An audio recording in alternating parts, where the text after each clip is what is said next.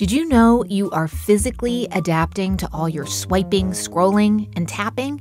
We're changing our bodies and what they're able to do through our habits. NPR's Body Electric, a special interactive series investigating how to fix the relationship between our tech and our health. Listen in the TED Radio Hour feed wherever you get your podcasts. After months of stalemate, are the Texas House and Senate finally making progress on school spending? Find out today on the Texas Standard.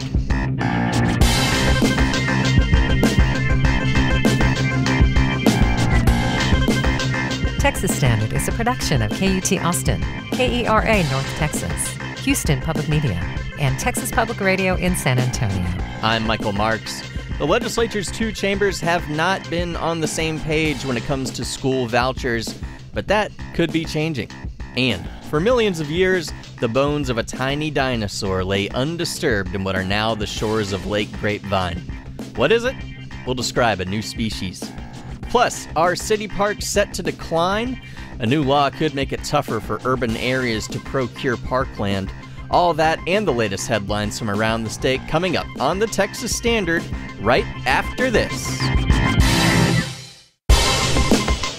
It's Monday, November 13th, 2023, and no matter where you are, it's Texas Standard Time. I'm Michael Marks.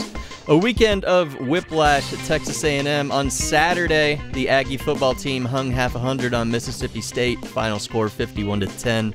On Sunday, A&M athletic director Ross Bjork announced that he'd fired the Aggies head football coach, Jimbo Fisher.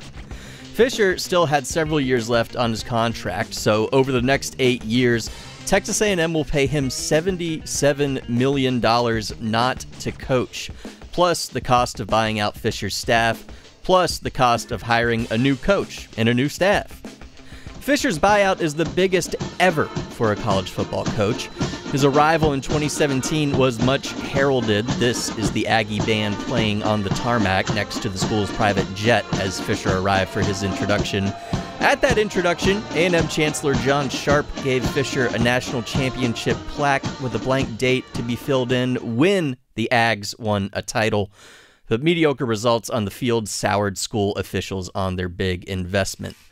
We'll have more on the developments coming up in the news roundup, but the decision to pay Fisher a fortune to go home comes as the state legislature is also making some school spending decisions, specifically how to distribute taxpayer dollars to support education in Texas.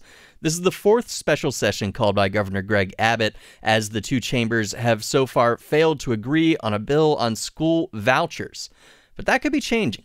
For more, we are now joined by Sergio Martinez Beltran, who covers state politics and government for the Texas Newsroom.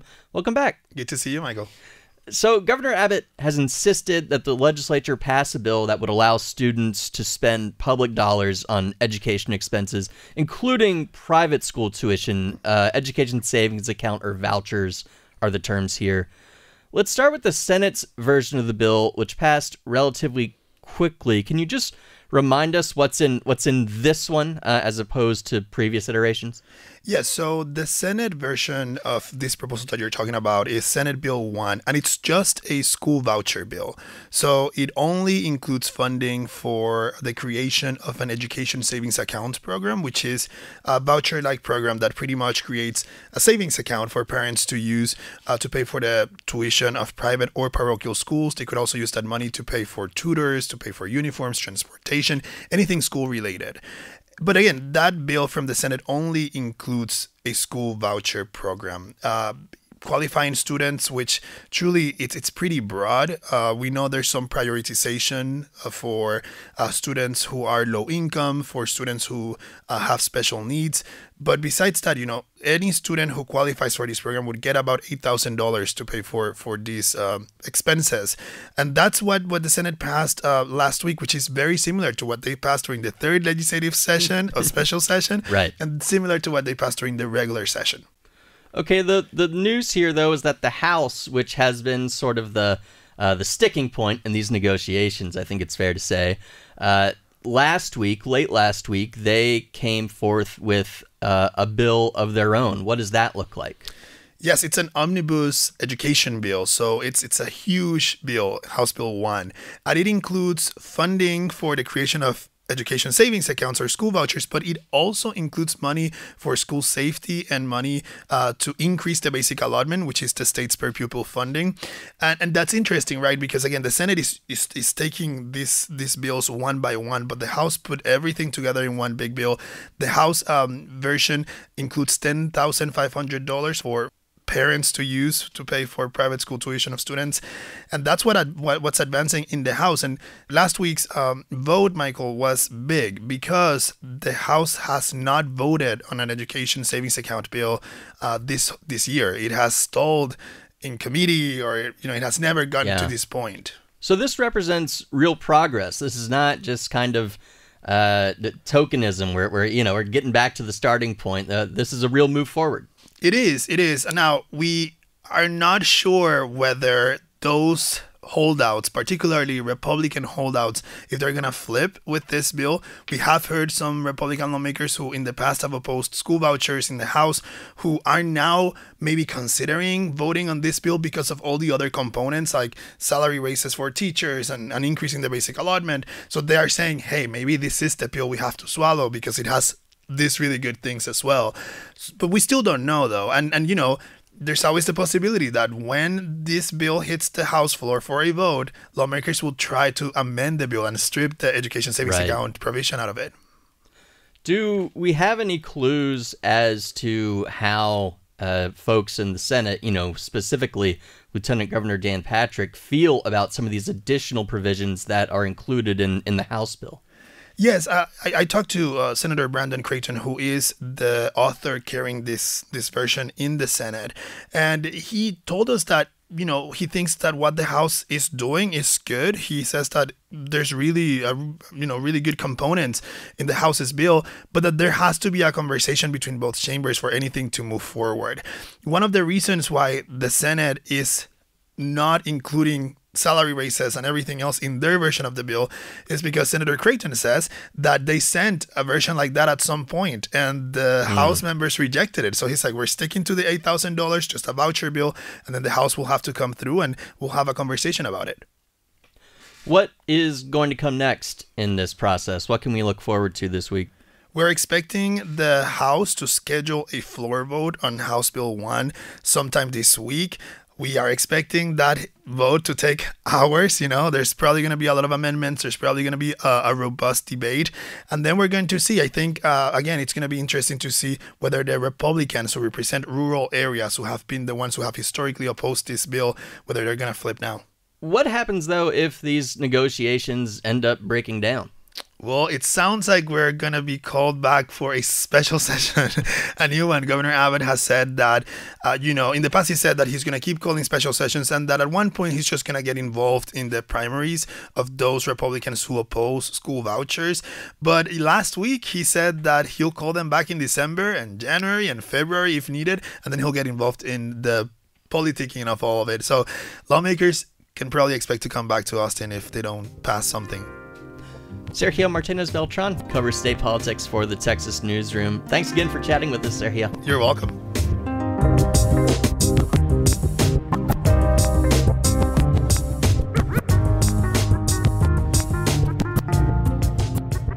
El Paso residents are concerned about the growing number of high speed chases in their city. They involve state troopers trying to catch suspected smugglers.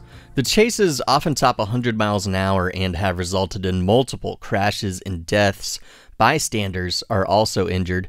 KTEP's Angela Kocherga was at a meeting organized by DPS where El Pasoans said the chases are putting their lives at risk. Yes, well, the platform plus what is it that they use? Residents filled the town hall to learn about smuggling in far west El Paso, including tips for spotting a stash house. But they also had questions, especially about the DPS policy for pursuing suspected smugglers.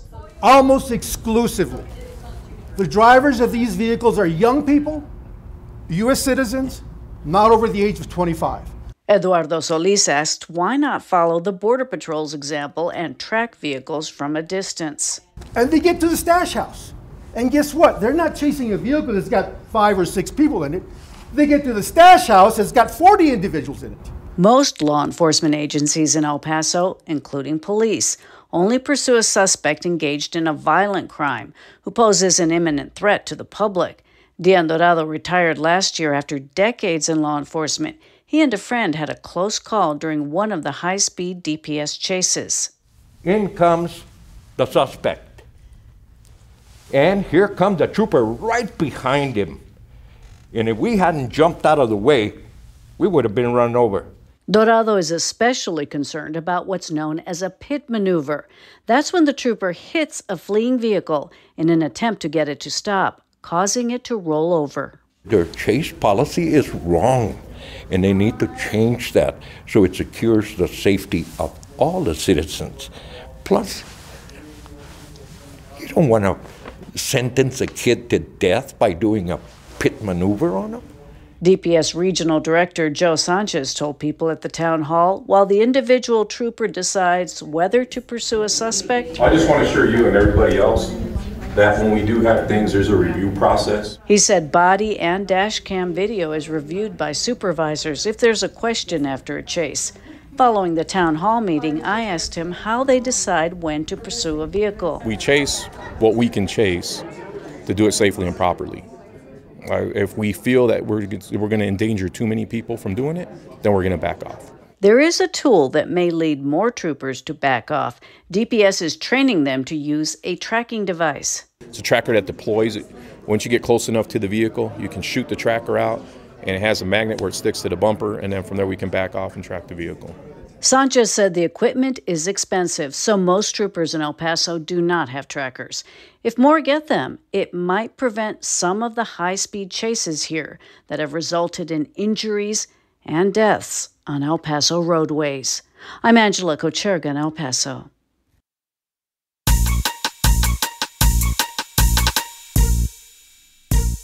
For the first time this week, time to check in with social media editor Wells Dunbar. Hey, Wells. Michael Marks, good to be with you this Monday. And it's great to hear from all these folks sharing their thoughts on topics we've been exploring today. Specifically, that story at the top of the show, the prospects for school voucher legislation here on the fourth special legislative uh-huh. session.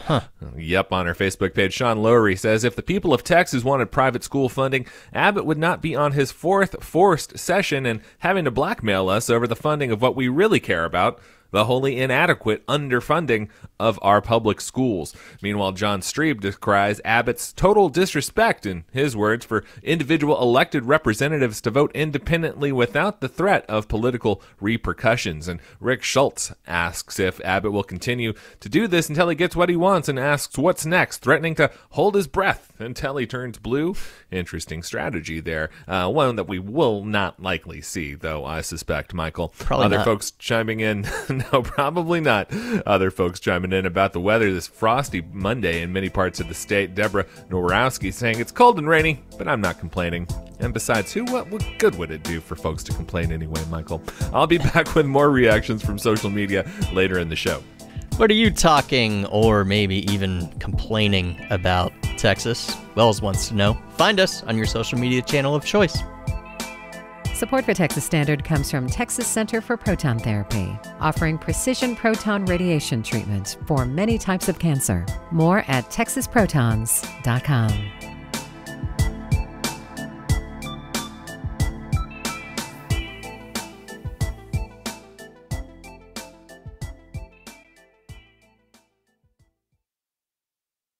This is the Texas Standard. I'm Michael Marks. An Austin police officer named Christopher Taylor is at the center of a murder trial in central Texas. This week, the jury could reach a verdict as to whether Taylor ignored best practices and wrongly shot and killed Mike Ramos in 2020. KUT's Andrew Weber tells us that so far, jurors have been deadlocked. This is the third day of deliberation for jurors. They must unanimously decide whether Taylor acted reasonably when he shot Ramos three times at a southeast Austin apartment complex in April 2020. Ramos was fleeing, but Taylor's attorneys say he feared Ramos could have threatened the lives of responding officers, and his actions were justified. The six officers who responded to the 911 call testified in court. And if convicted, Taylor would be the second police officer convicted of murder in an on duty shooting in Texas in nearly half a century. I'm Andrew Weber in Austin. Andrew has been following this trial for weeks. We'll check in with him when jurors reach a verdict.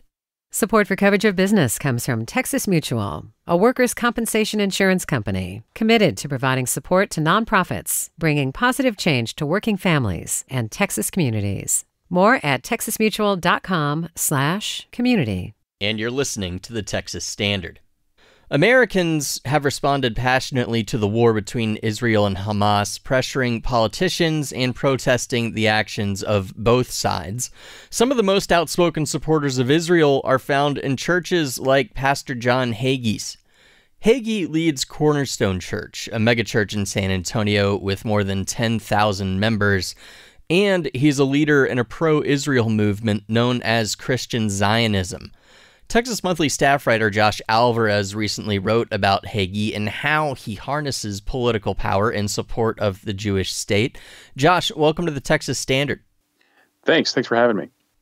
Uh, before we get into Hagee specifically and what you observed uh, at the service that you went to in support of Israel, uh, can you tell us about Christian Zionism as as a concept? What are what are its goals and, and what do its supporters uh, what are sort of their the, the main tenets of their beliefs? Sure. Uh, christian zionism has a deep history that actually goes back um, even to the 1800s if, if, not even earlier. The general idea is that um, these are christians and it's not all christians. This is a particular um, thread within christianity that believes that jews are the chosen people um, and that the uh, covenant that they made with god in, in genesis um, still holds um, today. Uh, that that Jews have a particular uh, claim to uh, their biblical land um, of, of Israel, um, as outlined in the Bible and in the in the Old Testament. So, you know, within Christian Zionism, there's there's different kinds of threads of of, uh, of interpretation of, of, of, but the general gist of it is that um, the resettlement of of the ancient kingdom of Israel is is an essential um, component uh, to create the conditions for the return of Jesus, um, for, mm. for his return, and, and then for the beginning of the end times. So, uh, in in that regard, um, Christian Zionism, you know, Zionists broadly agree on that.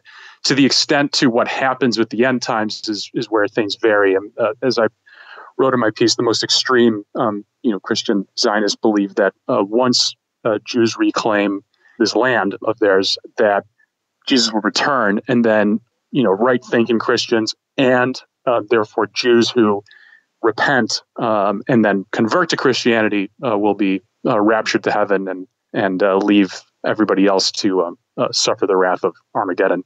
In Pastor Hagee's interpretation, he's a little he's less extreme in that he holds that since uh, Jews Jews are chosen um, and that's permanent, that there's in other words, there's always going to be a, a place in the kingdom of heaven for Jews that there's mm-hmm. no um, you know conversion uh, required. Got it. To what extent has Pastor Hagee uh, been the leader of this movement, or a leader? He he started this. Uh, it's called a Night to Honor Israel. It's this, and this was the event that I attended. Um, he he started it 43 years ago. It, it, it started off small, but uh, this sort of uh, interpret this theological interpretation that Hagee, um, you know, was was offering um, picked up a great big bit of steam uh, within a few decades, and and really that the, the, popularity of this event, this Night to Honor Israel, which is not really a church service. It's it's almost a kind of an affirmation um, of the a Christian evangelical affirmation of you know supporting Israel with this theology in mind of um, that to support Israel is to is to be um, you know performing a holy duty. Um, the popularity of that event is actually what led to the creation of uh, this lobby organization um, called Christians United for Israel, which appears to be the the most powerful pro-Israel lobby in the United States, and po- quite possibly one of the biggest lobbies in the country. With, um, as as Pastor Hagee says, um, a membership uh, exceeding 10 million uh, Americans, uh, which is which quite significant.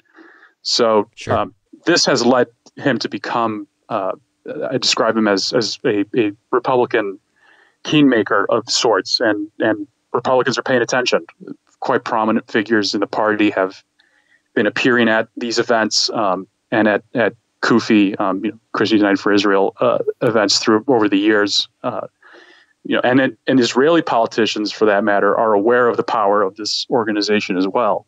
you know, Benjamin Netanyahu himself uh, gave a taped address uh, to the 2019 uh, CUFI summit held in Washington, D.C. And in this year's Night to Honor Israel event, you know, you had two Israeli diplomats, including the uh, permanent representative to the United Nations, uh, Gilad Erdan. If you don't mind, can you describe uh, what the Night to Honor Israel uh, was like, the one that you attended recently?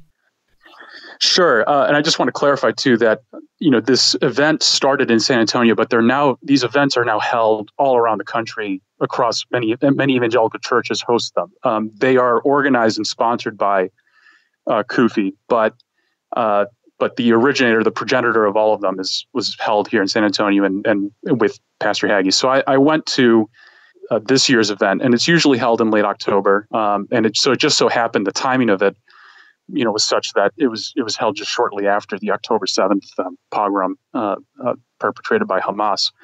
So typically, these events again are just pretty straightforward um, reaffirmations uh, of of the this evangelical movement's commitment to Israel.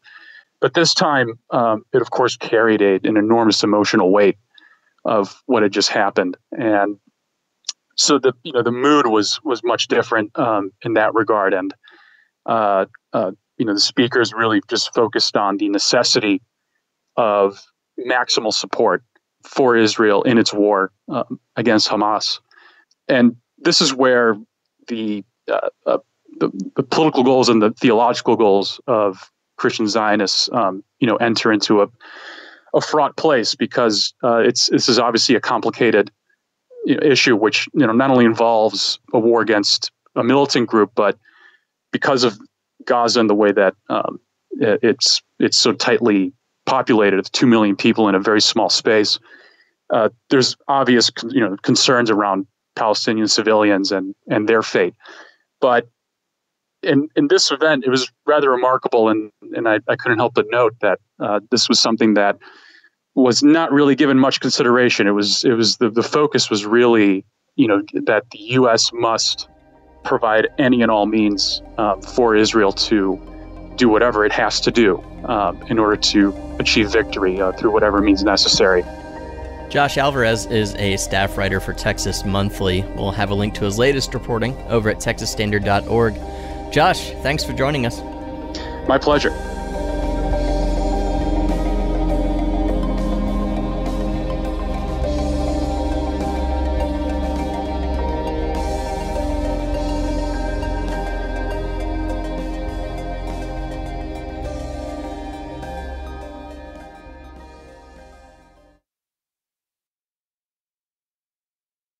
From the Texas Newsroom, I'm Matt Thomas. An estimated 10,000 people showed up at the state capitol in Austin yesterday to show support for Palestinians impacted by the war with Israel.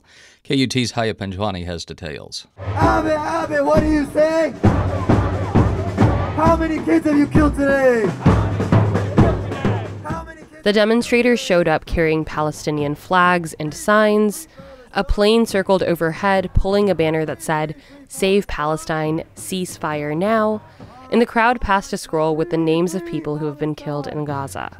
Mohammed Nabulsi with the Palestinian Youth Movement said they wanted to deliver a message to the state legislature and Governor Greg Abbott.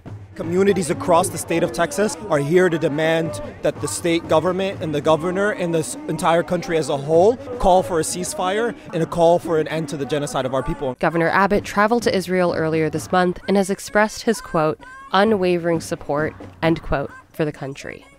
I'm Haya Panjwani in Austin. Members of an all black Army battalion are receiving clemency for their part in a 1917 riot.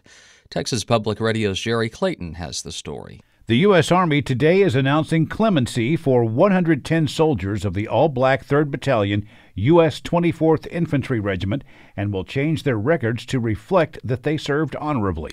19 of the 110 soldiers were convicted of mutiny for their role in the 1917 Houston riot and hanged at Fort Sam Houston.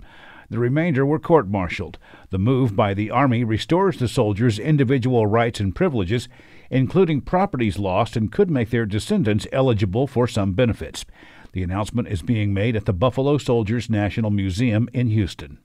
I'm Jerry Clayton in San Antonio. Texas A&M University has fired head football coach Jimbo Fisher in the middle of this season. Texas Public Radio's Dan Katz reports his $77.5 million contract buyout is the highest in college football history. Texas A&M's athletic director Ross Bjork called the buyout monumental and something that will have consequences but said that it had to be done because the team has been underperforming despite its elite fundraising, recruiting, and facilities. Our program is stuck in neutral we should be relevant on the national scene. Something is not clicking. Bjork says no public dollars will go towards Fisher's buyout. The money will come from unrestricted donations and the school's athletic department. The Jimbo Fisher buyout more than triples the previous record. That would be Auburn's $21.7 million buyout of Gus Malzahn in 2020. I'm Dan Katz reporting. I'm Matt Thomas from the Texas Newsroom. Support for these Texas headlines comes from Texas Mutual a workers' compensation insurance company committed to providing support to nonprofits bringing positive change to working families and Texas communities. More at texasmutual.com/community.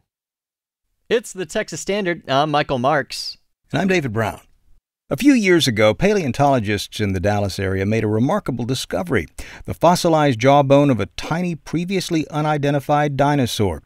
Its features made it an unusual find for the area, and now, after years of further study, researchers have published their findings on the new species in the Journal of Vertebrate Paleontology. Here to tell us more about the dino is Dr. Ron Tykoski. He is Vice President of Science and Curator of Vertebrate Paleontology at the Perot Museum. Dr. Ron, welcome to the Texas Standard. Thanks for having me on. First, what did you name this dinosaur, and could you tell us a little bit about uh, the origins of this name? Sure. The, we named it Ampelognathus coheni, and the name there breaks down. It comes down from ancient Greek ampelos for grapes or grapevines, and gnathos meaning jaw, and coheni after the gentleman who actually found the fossil. So the name roughly translates out to Cohen's grapevine jaw. Cohen's grapevine jaw, indicating, I guess, uh, uh, where uh, the dino was discovered or the jaw was discovered. Who's Cohen?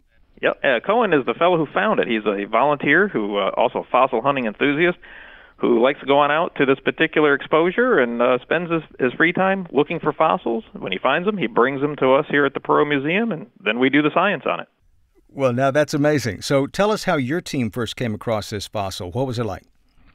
Well, he actually found this and sent pictures from when he was out on the exposure, saying, "Hey, I think I found a little crocodile jaw."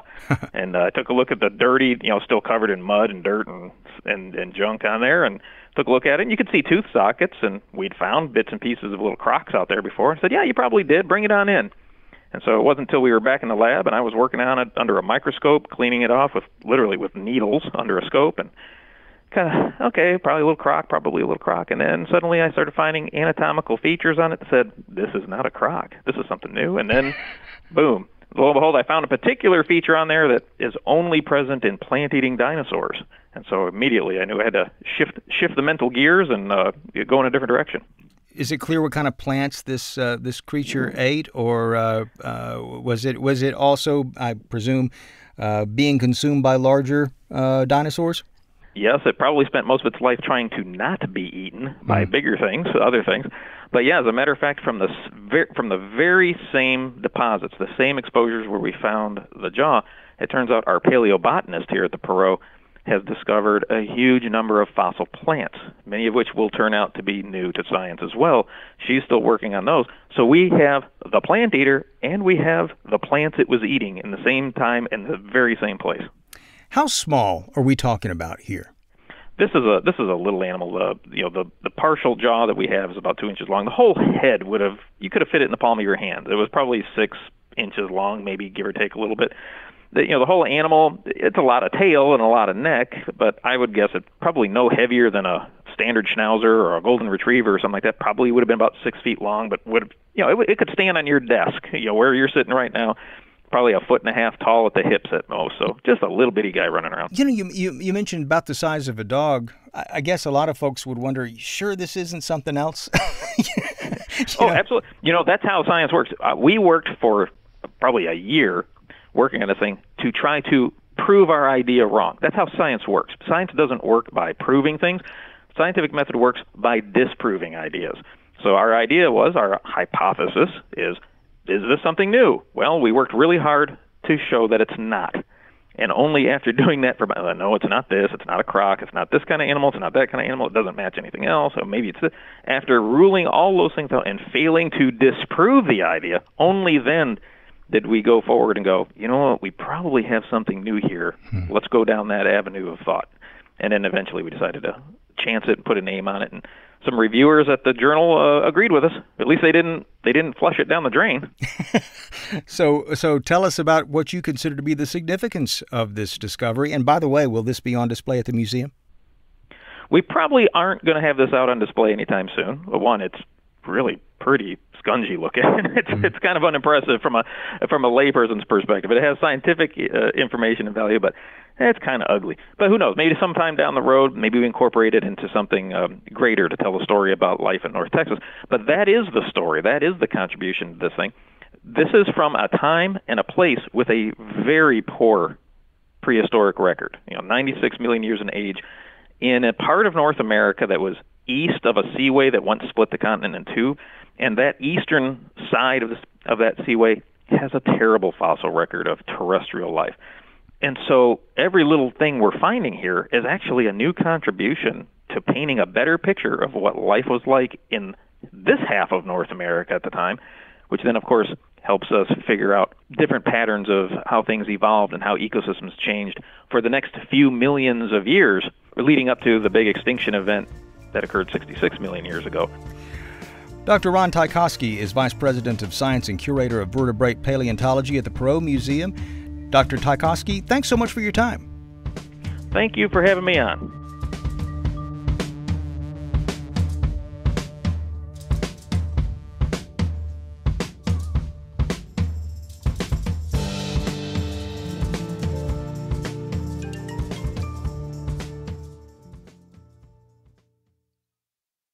It's the Texas Standard. I'm Michael Marks. San Antonio's history is nothing if not unusual. One of its most curious periods is the 60 years when the Chili Queens fed the city in open air plazas. Texas Public Radio's Jack Morgan looks back at the Chili Queens era. The Chili Queen's reign ran from about 1870 till 1930. They cooked and served in open air markets set in downtown plazas. And their day started early, probably sometime around 4 a.m. I can imagine these women waking up early in the morning. Liliana Saldana is Associate Professor of Mexican American Studies at UTSA. grinding the corn, making the tortillas. I imagine the smell of the chiles, right? The smell of these home cooked meals, conversations and pláticas, and people just coming in and out of the plazas. The Chili Queens ruled no kingdoms, but for about 60 years they played a critical role downtown.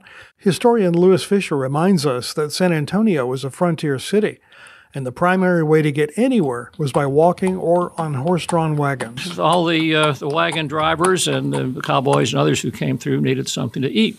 And so the families, uh, people there, uh, got some fast food together, which in those days was uh, not just chili, but also enchiladas and tamales and, and menudo, all, all kinds of food. Although the Queens worked in several plazas, Military Plaza was one of the primary ones. That one is now dominated by the old City Hall building. But before City Hall was there, it was basically a, a large open square. Many of the Chili Queens lived just blocks west from there in what was called Laredito, or Little Laredo.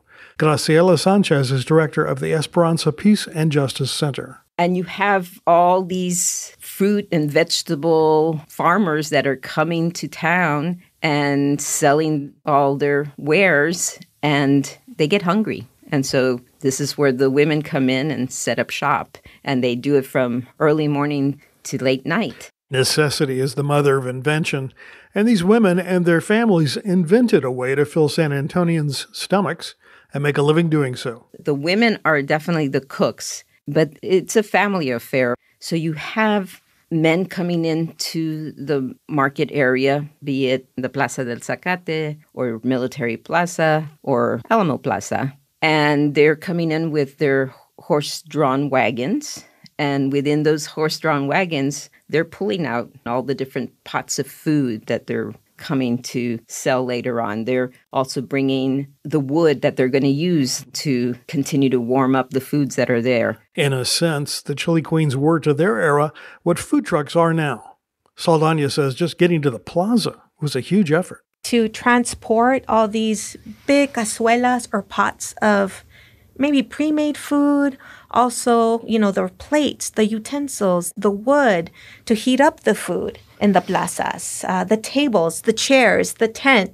This is enormous labor. These are like pop up restaurants, but they were there every single day. Those who were able to thrive made enough money to help their families move in the right direction, and it also gave them a sense of pride. You know, I think there's a level of also autonomy. These were women who were able to create a business from their food. Graciela Sanchez's great grandmother was a chili queen, and she did quite well. My great grandmother lived in this area from the 1890s till the 1921 flood. And then by this time, she had already saved some money and already had a home on Chihuahua Street in the historic or near west side. With hundreds of people gathering in plazas for their meals, Sanchez said it attracted people whose presence fanned the flames of culture. The musicians, the singers, the Lydia Mendozas, all the trios that we still see today at uh, Mi Tierra, they were the walking musicians that went from one stall to the other and also tried to make their three cents, five cents per song, per stall. So it was just a, I think, a really exciting time as well. Lewis Fisher notes that the plazas where the chili queens cooked was something of a sociology experiment. There was a lot of uh, socialization going on down there. There were no economic barriers. You could have a well dressed banker next to a, uh, a street worker, all uh, standing in line for the same, uh, the same food. It was very egalitarian. Hundreds of people from all walks of life coming together also creates something unintended Saldana said it was a place for interchange between San Antonians from all walks of life. I imagine the plazas being spaces of political discourse at a time when Spanish speaking Mexican Americans didn't have access to English language media. So they're listening to what's going on in the community through corridos, right? Through music. Graciela Sanchez says this was still an era when most common people couldn't read or write their language. And so that space became a place where the politicians went and debated what the topics of the day were. There were individuals who were literate and they would pick up a newspaper, probably in Spanish language, and they read to the community, especially for folks who couldn't read. And so they were learning what was happening in the US and Mexico and in San Antonio. She says that these plazas served another humanist function. We also know that if people wanted to write, there was an escribano, right? So somebody that sat in the corner, or two or three or four of them, right, writing on behalf of someone. It's like, I want to send a letter to my mother who's in Mexico, but I don't know how to write. So that person would write for them and they would send off those letters. So it was holistic. Everything you needed and wanted, you could probably find within this area. Fisher says there was one event that turned the Chili Queens into an attribute known by people nationwide.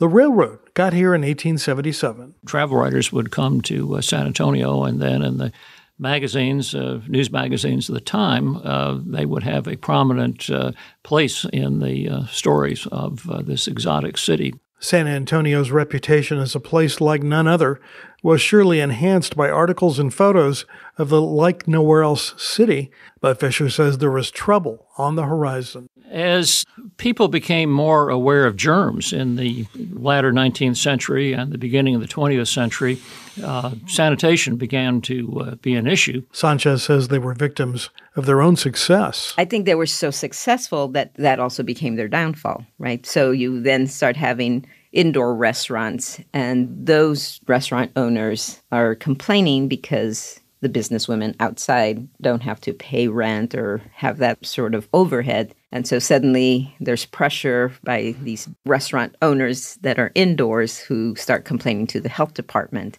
New rules involving inspections and health certificates led to more difficult hoops to jump through. They really did try their absolute best to resist some of these policies, but eventually they were banned. Sanchez says this history speaks to the work ethic these chili queens had. We can be joyful about a history of memory, but these folks did struggle. I mean, they were making pennies on those meals or those songs. By the 1930s, the Chili Queens had been driven from the downtown plazas, but rather than having simply disappeared, their grit, creativity, and determination has been passed on to many of those who create Tex Mex food now in hundreds of family restaurants around the city. I'm Jack Morgan in San Antonio. For more on the Texas Chili Queens, head on over to texasstandard.org. Got some great archival photographs there. While there, you can also sign up for the Talk of Texas. It's the weekly newsletter from the Texas Standard, and it's free. It's another great way to keep up with news from across the state. That's at texasstandard.org. More news coming up, including a look at a new law that could curb Texas City's ability to create and improve public parks. Support for Texas Standard comes from Enel North America, generating renewable energy with projects run by and for Texans, investing in the future of local communities, schools, and small businesses. Learn more at enelnorthamerica.com slash Texas. This is the Texas Standard. I'm Michael Marks. Studies have shown that there are positive health outcomes for folks living in cities linked to the amount of park and greenery space available. But the effects of a new law could hinder cities' ability to procure new parkland. For more, we're talking with KUT City Hall reporter Luz Moreno Lozano. Luz, welcome back to the Texas Standard. Thanks for having me. So, could you give us a refresher on this bill, HB 1526? What's it going to do? Yeah, so uh, HB 1526 came out of the latest legislative session. Um, it basically changes how cities can regulate parkland dedication. So, and this is just cities po- with populations over 800,000 people. So, Okay, big Aus- cities. Yeah, Austin, San Antonio, Houston, Dallas. Uh, but basically, when a developer comes in, the city usually requires them to dedicate a certain amount of parkland. Um, or they can pay a fee in lieu. And so, what this law does is change what that acreage has to be when they're coming in. It used to be, you know, the cities could control how much land they could dedicate. And now the state legislator is like, you can only dedicate this much now. Understood. So this this seems like another local control issue, right? Yeah, so this is just another bill that came out of the legislative session that is now imposed on local entities like Austin and Houston and Dallas. And so in some cases, it prevents these cities from achieving their specific goals. In this case, it's around accessibility to parks and green spaces. Wow. Okay. So Austin specifically, uh, you report has some pretty progressive parkland dedication rules, and now they'll have to scale back. How so? Yeah, so Austin had rules in place that required developers to give like 9.4 acres of parkland per 1,000 residents. Uh, and then last year they added commercial developers, you know, people who come downtown and can dedicate parklands. And they were using that to close in gaps on, on green belts, you know, like Shoal Creek. Green, like those green belts go like from Right. North Austin all the way to downtown Austin.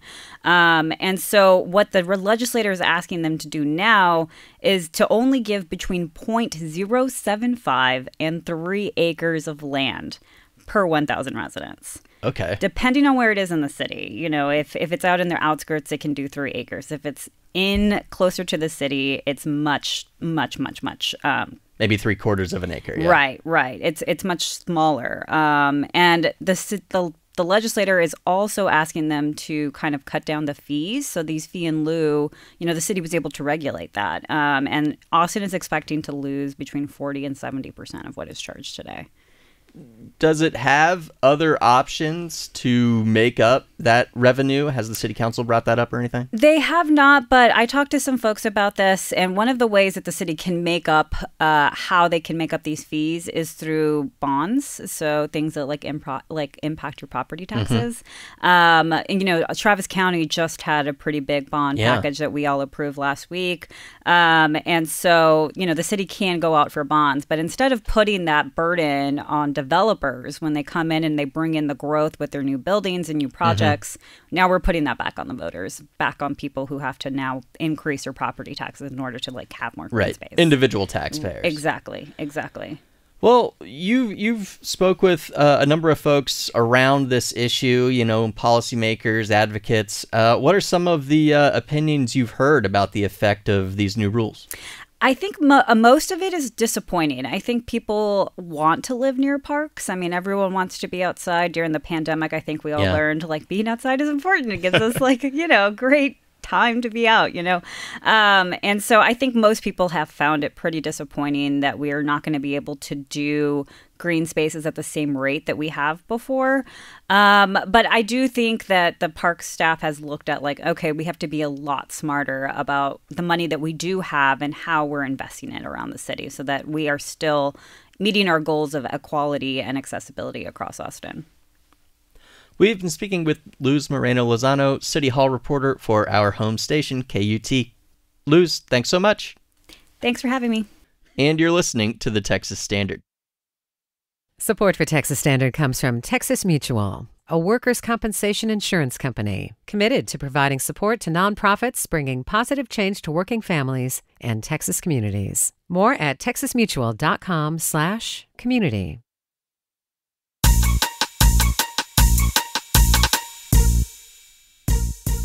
Before we go, let's check in with social media editor Wells Dunbar, see if he's got a case of the Mondays. Hey, Wells. Just a mild case so far. But you know, Michael, it is World Kindness Day, according to uh, Giselle Rackley on her Oh. Facebook page. So I'll try and go a little easy on you. Um, you know, ha- I got a question for you, though. You've been following this Jimbo Fisher situation. Pretty wild stuff we heard about there in the news roundup halfway through the show. I I have been following it. Uh, I find it remarkable. On Remarkable is a good choice many of words. levels. Yes.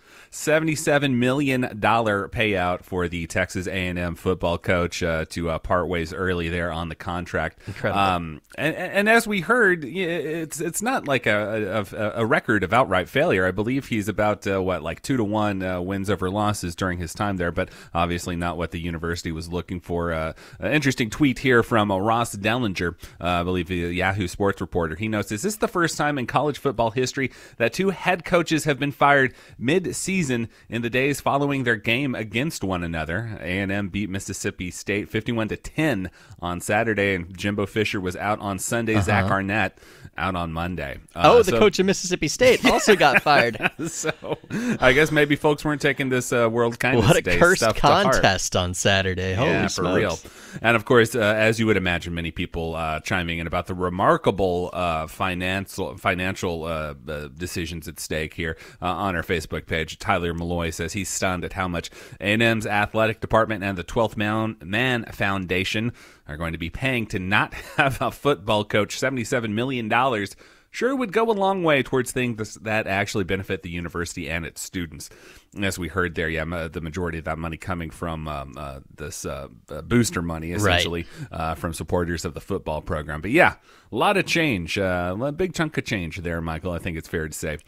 Uh, also, hearing from folks about uh, another story we heard about there in the news roundup, uh, as uh, Texas Observer uh, reporter Gus Bova tweets the largest protest at the Texas Capitol since the 2017 Women's March. That would be that uh, huge rally in uh, at the state capitol uh, in uh, favor of a ceasefire and, and the uh, people of Palestine uh, or Gaza, rather. Uh, he says, honestly, I'm seeing some videos from higher up of the march. Makes me wonder if that 10K figure is still low. But yes, quite a turnout at the state capital and these calls for a ceasefire, reflecting some of the actions uh, or some of the statements we're seeing on our Facebook page, post, page as well. There, Mario Modesto says he's very concerned about what's going on in Gaza, particularly the disproportionate bombardment of the civilian population. He says it's understandable that the Israeli military is seeking Hamas militants, but at the peril of the Palestinian population that is likely not responsible for these Hamas atrocities. Atrocities. Uh, again, calling there for a ceasefire, um, uh, as uh, many uh, folks have here. Continuing to monitor the situation at the Capitol regarding this special session as well, though. Karen Dickenstein has an interesting question here on our Facebook page. What happens if the legislators decide not to play Abbott's infinite game of special sessions by not showing up? I know, as Sergio told us, looks like another one might be in the cards after this one, and another one, then another one. So who can say, Michael? Who can say we will tomorrow and every day after that. The news never stops also at texasstandard.org. Find us there. Thanks for listening. We'll talk to you tomorrow. Philanthropic support for Texas Standard comes from Casey and Scott O'Hare, the Winkler Family Foundation, Lynn Dobson and Greg Wooldridge, Adrian Killam, and the George Huntington family.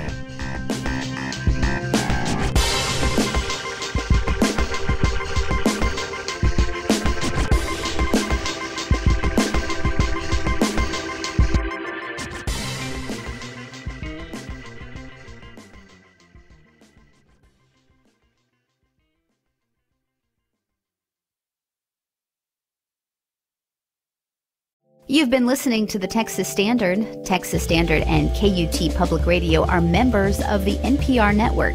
It's an independent coalition of public media podcasters. You can find a lot more great content and shows like the Texas Standard in the NPR network, available wherever you listen to podcasts. Did you know you are physically adapting to all your swiping, scrolling, and tapping? We're changing our bodies and what they're able to do through our habits. NPR's Body Electric, a special interactive series investigating how to fix the relationship between our tech and our health. Listen in the TED Radio Hour feed wherever you get your podcasts.